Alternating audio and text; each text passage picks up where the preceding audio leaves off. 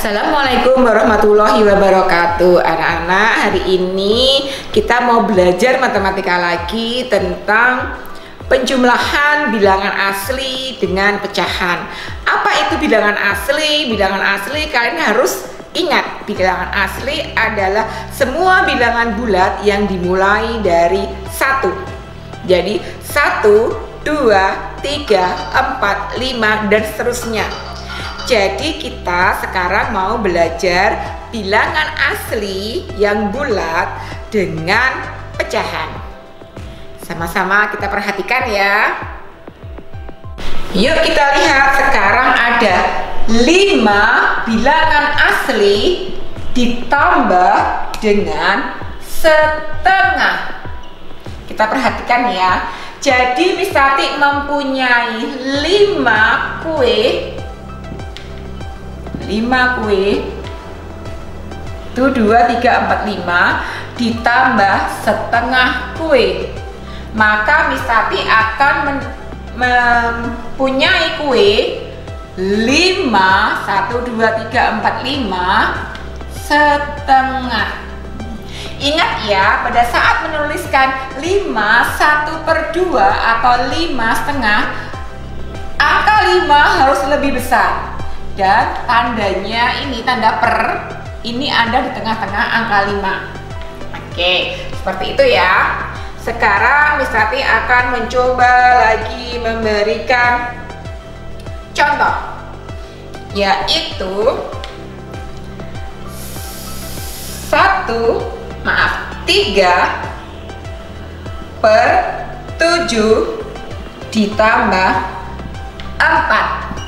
Nah ini juga sama ya, hanya yang ini bilangan aslinya ada di belakang, tapi tetap ada empat kue yang utuh ditambah 3 per 7 kue yang tidak utuh. Maka hasilnya 4 3 per 7. Miss Tati kasih contoh lagi yang ketiga, yaitu 1 per 5 ditambah 6 2 per 5 Bagaimana caranya ya? Di sini adalah pecahan campuran. Caranya yang bulat disendirikan. Jadi 6 yang bulat. Ditambah yang pecahan dengan pecahan dijadikan satu dulu. 1 per 5 ditambah 2 per 5 maka hasilnya adalah 6 yang bulat ini ditambah 3 per 5 sama dengan 6 3 per 5 jadi 1 per 5 ditambah 6 2 per 5 hasilnya adalah 6 3 per 5 sekarang bagaimana kalau kedua-duanya adalah pecahan campuran? Contoh yang keempat. 12 3 per 6 ditambah 4 1 per 8 sama dengan di sini beda penyebutnya kita jadikan satu dulu yang bulat yang bulat adalah 12 dan 4 kita gabungkan menjadi satu.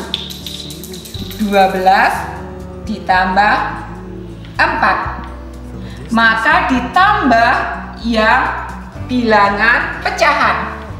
3 per 6 ditambah 1 per 8 nah sekarang yang bulat dengan yang bulat kita tambahkan 16 ditambah dalam kurung 6 dan 8 dia belum bisa ditambahkan karena dia masih beda penyebut.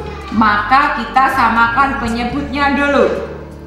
Ingat 6 dan 8 itu KPK nya adalah 24 kita jadikan 24 maka 6 jadi 24 kali 4, maka atas kali 4. 8 jadi 24 kali 3, maka 1 juga kali 3. Nah, sekarang kita tuliskan di bawahnya.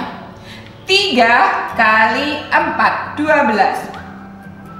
1 kali 3, 3.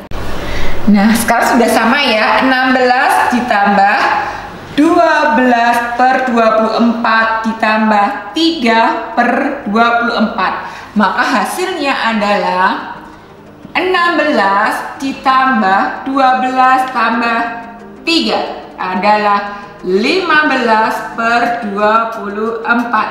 Nah, maka hasil terakhir adalah 16 15 per 24 Nah jadi 3 per 6 ditambah maaf 12 3 per 6 ditambah 4 1 per 8 hasilnya adalah 16 15 per 24